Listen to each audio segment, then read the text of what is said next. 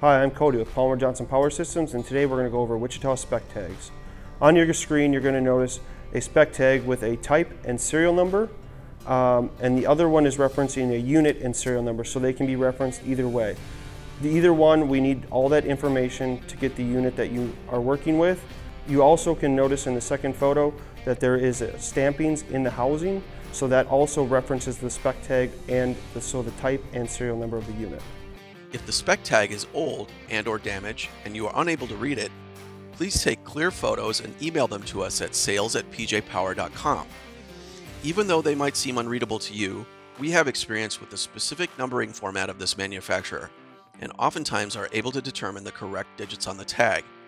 If the spec tag is missing or you cannot find it, take photos of the unit, including stamp numbers and casting numbers, along with photos of the complete application and email those to sales at pjpower.com. We'll instruct you on the next steps in identifying your unit.